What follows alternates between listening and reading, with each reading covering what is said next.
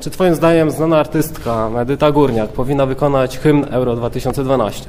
Myślę, że nie, ponieważ mieliśmy jej próbkę jej umiejętności na, nie na ostatnim, na, w Korei i Japonii na mundialu i myślę, że no, skompromitowała po prostu polski naród i uważam, że nie powinna tym razem śpiewać.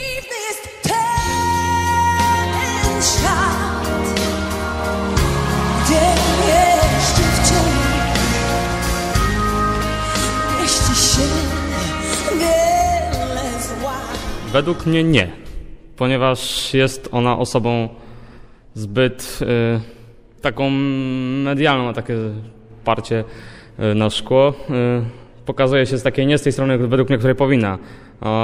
Jej głos jest na pewno bardzo dobry i pe- pewnie sam hymn brzmiałby bardzo dobrze, lecz jako osoba jest według mnie nieodpowiednią do takiej roli. Bardzo komercyjna.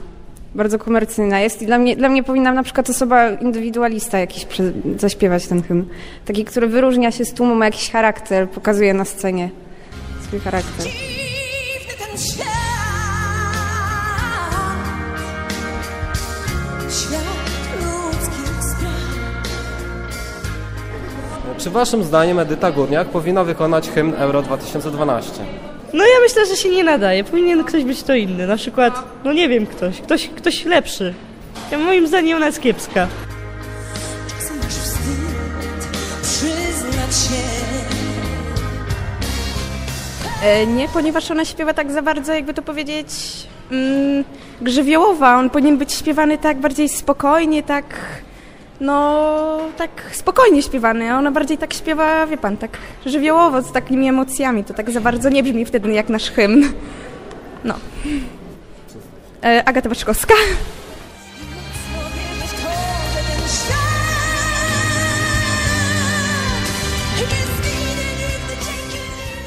No to są jakieś jaja, żeby ona wykonywała e, hymn e, na Euro 2012, bo się skompromitujemy już do końca, a w 2002 roku to już i tak jej nie poszło na Mistrzostwach Świata wykonywanie hymnu, więc nie. Tak często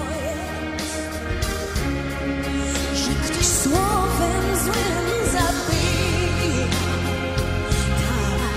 tak. Czy Edyta Górniak powinna wykonać hymn Euro 2012? Nie, nie, po- nie, nie, nie, ponieważ nie ma głosu i ma głos jak kura. Który wtedy śpiewała i nie wyszedł i tyle. Zrobiła wstyd Polsce.